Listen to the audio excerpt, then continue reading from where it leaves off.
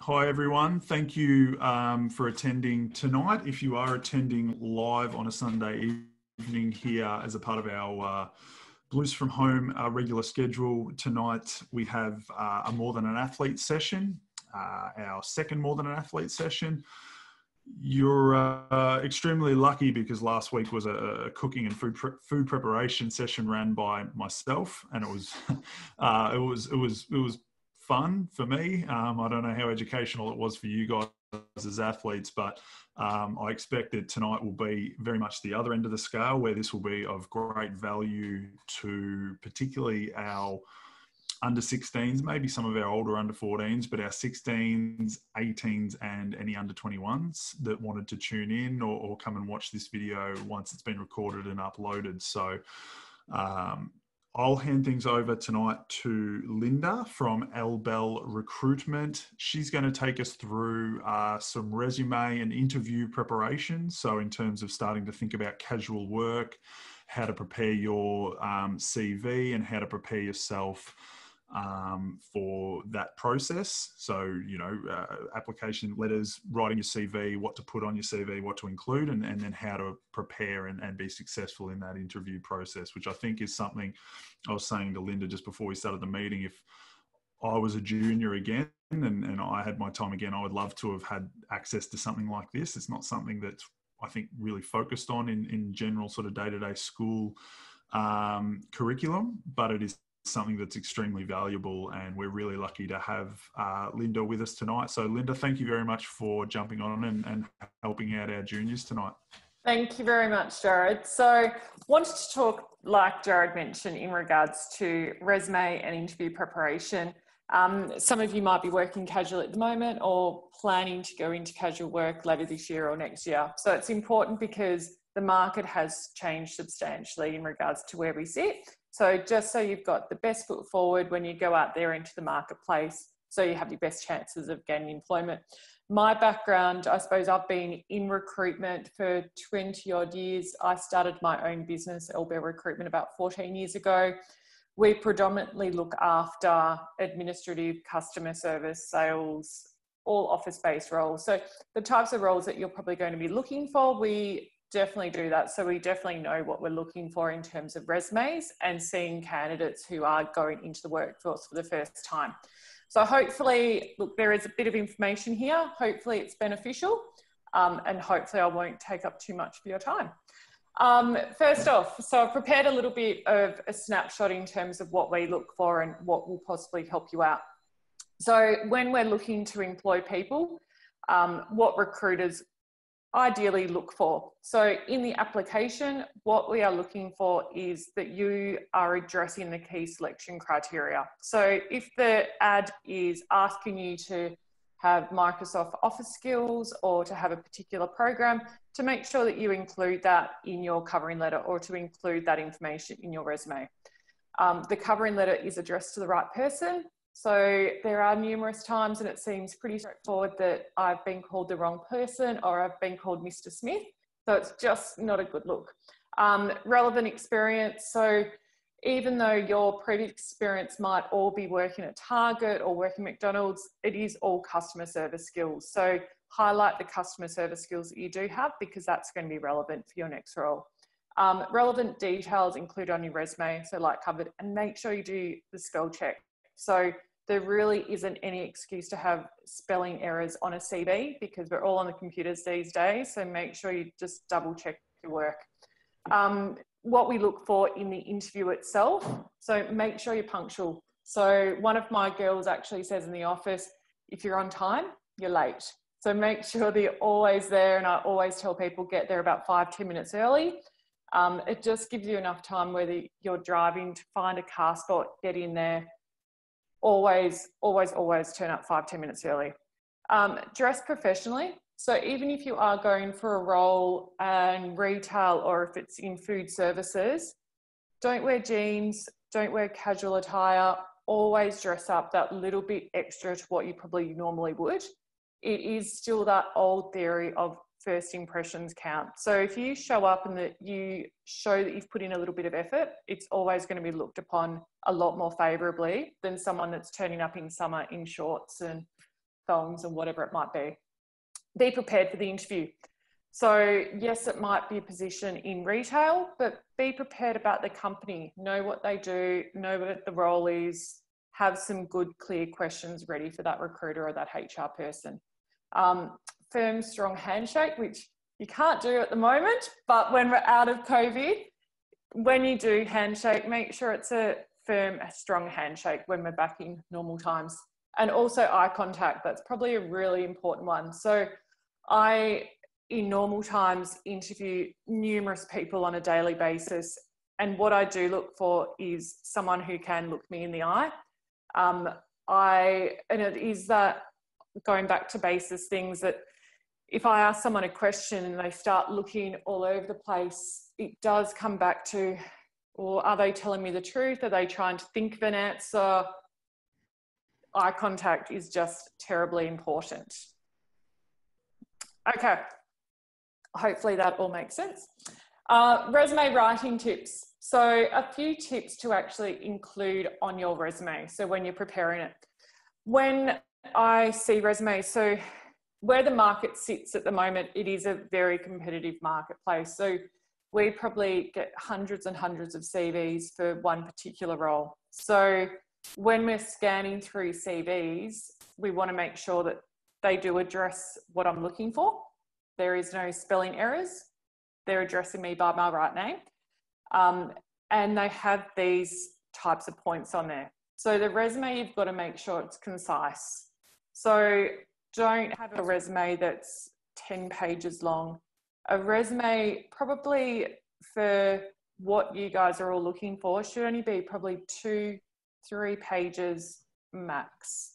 So it should be really clear, really concise because recruiters and HR people don't have time to look through pages and pages of information about you. As much as we'd like to, we just don't have the time to. Make sure your resume is factual and accurate. So if the role is something that you're really looking for and you really want to do that position, but they want um, experience with a particular software program or experience working somewhere, don't write on your resume that you've done it if you haven't actually done that before. Um, it might get you there, but you will be found out and it's not going to end well. Um, so make sure that it is factual, make sure that it's accurate, um, and sell the points that you do have the experience in. Um, always put your resume in a positive manner. So what we say with that is don't use negative words in your CV. So don't say, I can't do whatever it might be. Always highlight what you can do. Always highlight your strengths. Um, goes into my next point. Highlight skills and strengths. So like mentioned, always in your resume, use bullet points. So never use paragraphs or never use wordy sentences. Um, like mentioned, we read so many resumes on a daily basis and all I'm looking for is clear words. So, particular words, I'll look at a CV and it will make me read it for longer. So, when I get a CV that has just paragraphs of words, it makes it really hard for a recruiter or a HR person to read. So, the best chance you're going to get is to make sure that it's all in bullet points and it's clear and it's to the point. Um, write your achievements for each role. So if you've worked at Target or if you've worked at uh, Pizza Hut or if you've worked somewhere, what are the key achievements that you've done in that position? So did you get a customer service award? Did you solve a particular problem? Did you um, create a new process? So whatever it might have been, if you've done, you know, basketball refing, what did you do? What was a good achievement that you've achieved or that you've received recognition for? So put all that information in your CV. Things not to include in your resume, like mentioned, don't use the lengthy paragraphs. So make sure it's all bullet pointed. Don't mention weaknesses. So like I discussed, always put it on a positive note and always highlight what your experience is and what you can do. Like mentioned also, don't lie or exaggerate. So if you've got the skills, absolutely put them in there but don't write something if you haven't done it. Um, don't use acronyms or industry based jargon. So, in basketball, there might be acronyms that you might use for whatever it might be. Don't put that in your CV because you will know what it means, but the HR person or the recruiter for that particular company that you're applying for might not have any idea of what you're talking about. So always use the proper wording and don't use um, short and forms of the word. Um, and again, spell check your CV, 100%. So this is probably really blurry, but I can get a better copy um, across to Jared. So this is an example of a resume. So this is only one and a half pages.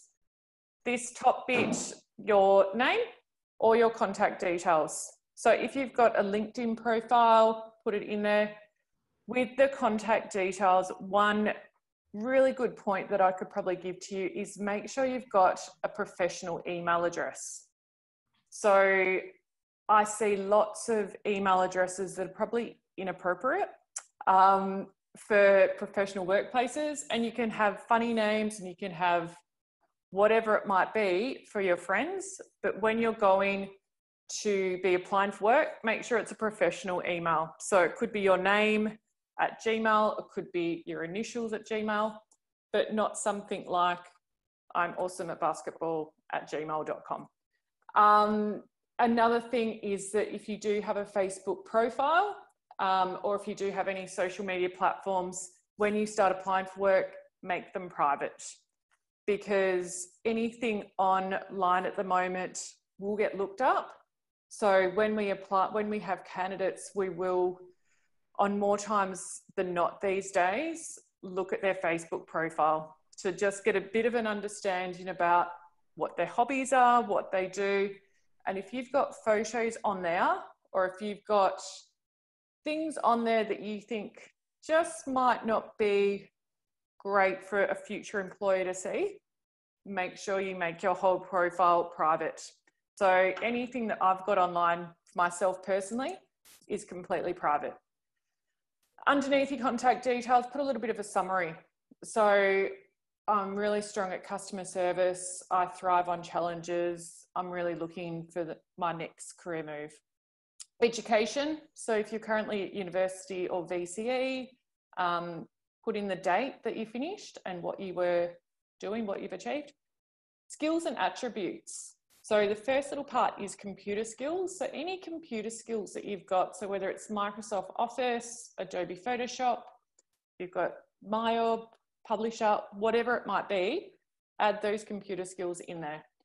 Um, attributes, so highly organized, if you're bilingual, um, excellent communication skills, whatever it might be. Chuck them all into your attributes.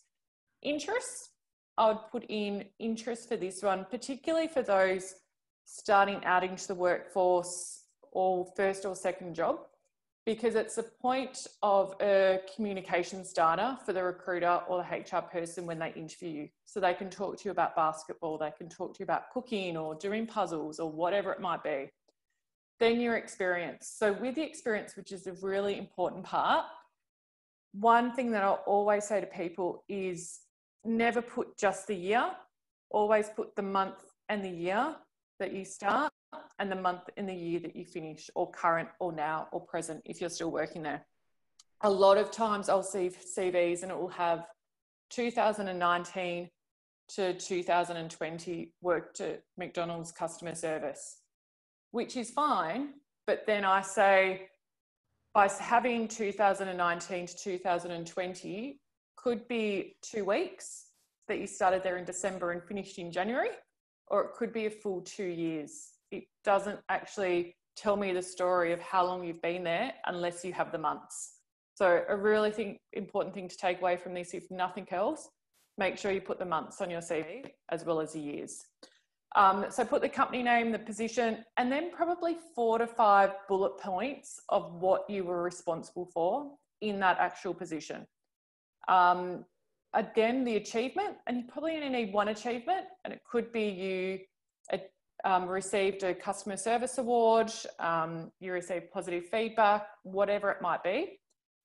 Um, and again, the next role that you've had, and if it's only one, put in your only experience. If you've done volunteer work, if you've done casual employment, whatever it might be, put all the experience you've got into that experience area.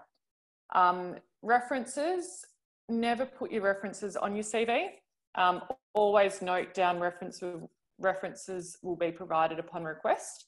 Um, and the reason for this is probably around privacy these days, because you don't want your referees to be called constantly. Um, if you are applying to through a recruiter, you don't want that recruiter to call up that company, getting a reference for you, and then you might not get the job, and then to call that next person, and then to get five calls.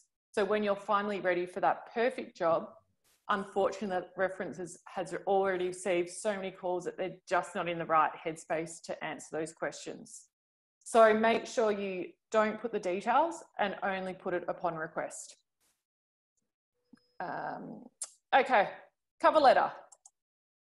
Why a cover letter is important. So cover letters, yes, they are important. And yes, I would always advise you to do them but I would still probably say put more emphasis and more time into your resume because your resume is going to be focused on and read a lot more than what your covering letter. But your covering letter is important. Um, it's a letter of introduction. So it's sort of, if there's something on your CV that to me doesn't make sense, I'll then go back to your covering letter and work out okay you've had a big gap in your cv because you were traveling overseas or because you went on holidays or whatever it might be. So it usually explains what you've been doing. And like mentioned it's your introduction.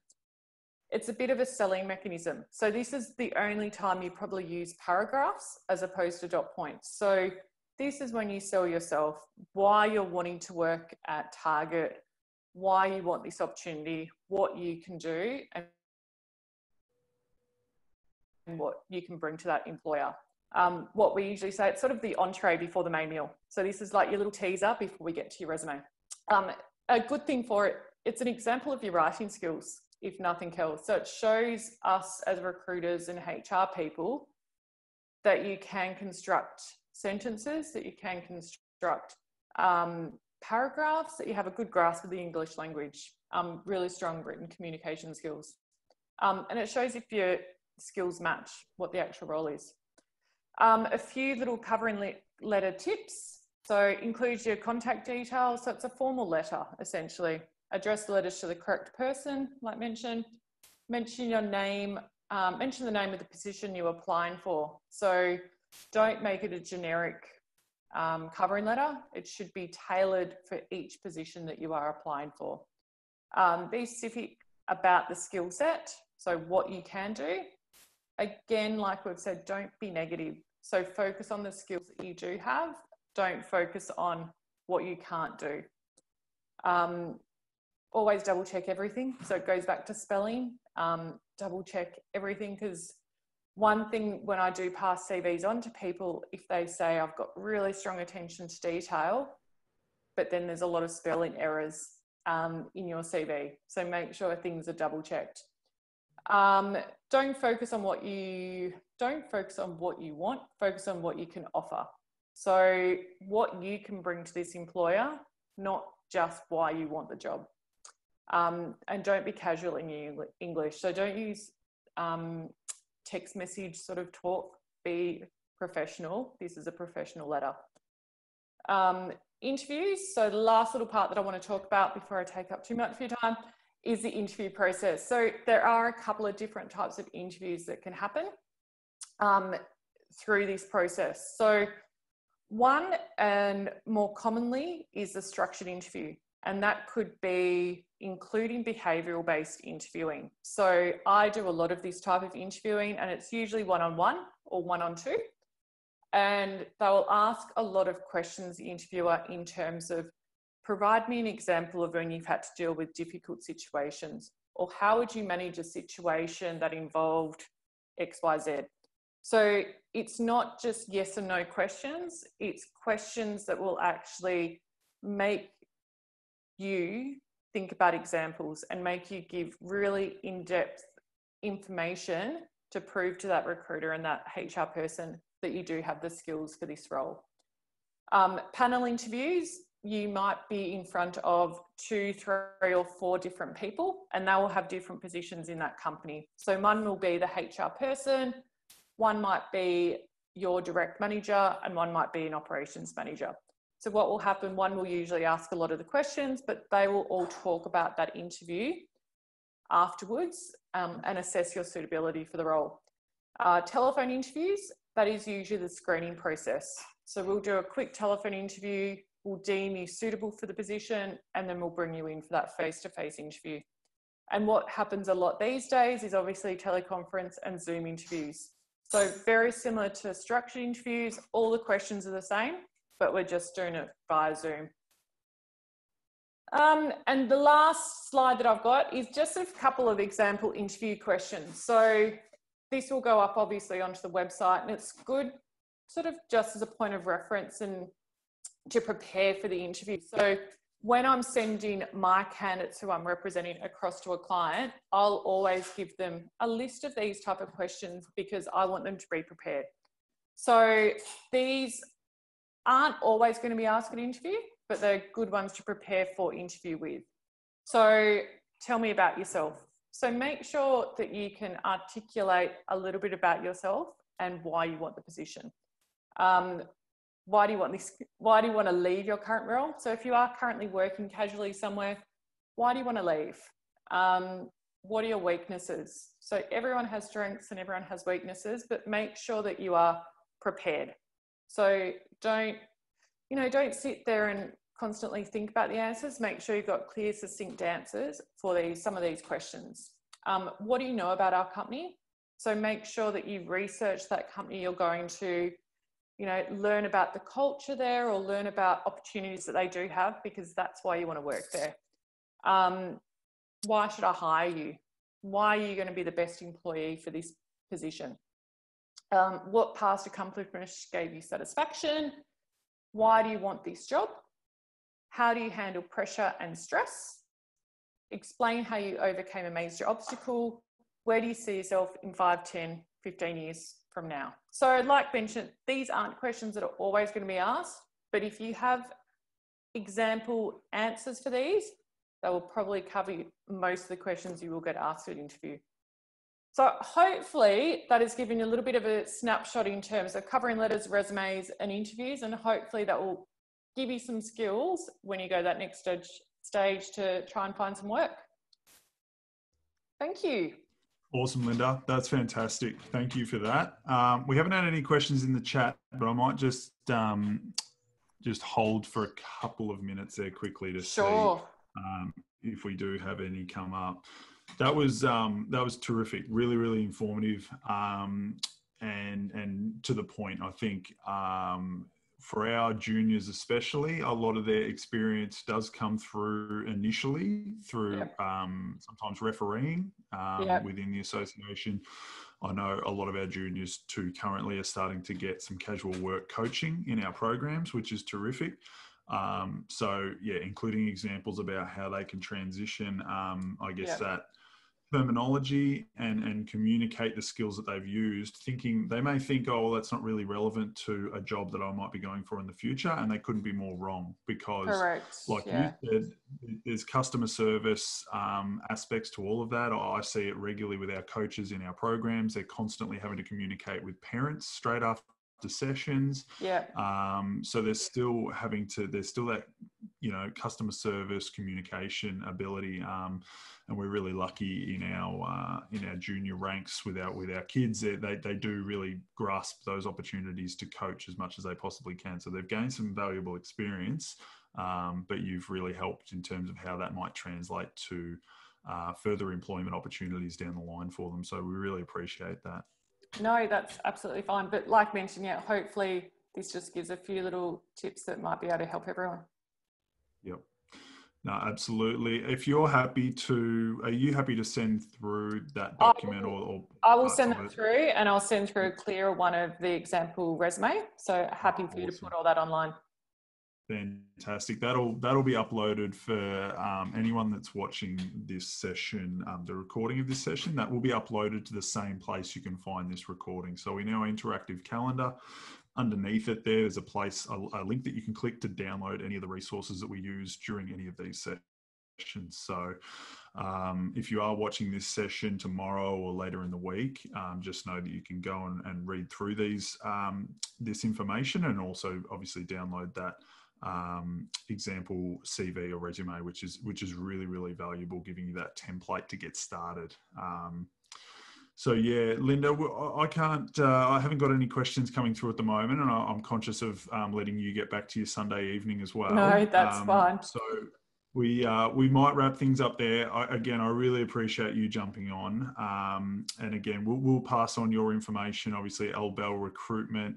Um, they they help us out at FDBA. Um, really really good sort of partners for us in terms of that space. And um, you guys, if anyone is watching this and needs any extra help, we'll make sure that um, that information is passed on and you can get in contact with Linda and her team as well. So thank you again for giving up your time tonight. We, we really appreciate it. It's really, really valuable for our club and our members. So thank you. No problems at all. I appreciate it. Thank you so much. No worries. All right. Thank you, guys. Thanks, everyone. We will uh, finish up there, and and we'll, uh, we'll we'll see you all again soon. Thank you.